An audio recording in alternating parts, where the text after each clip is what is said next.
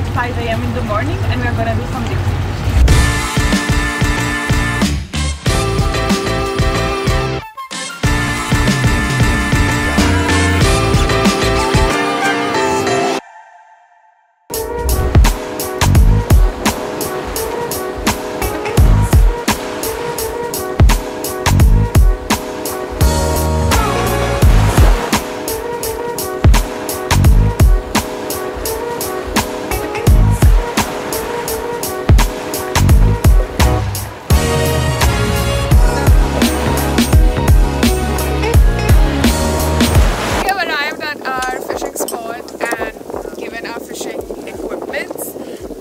Just have some patience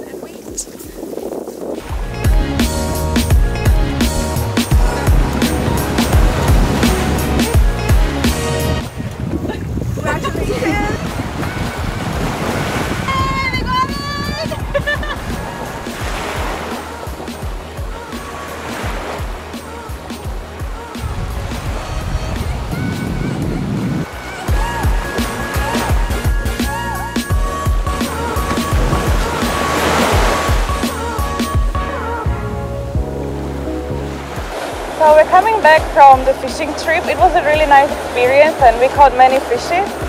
It was a really nice day trip for families, group of friends and yeah, it's very nice.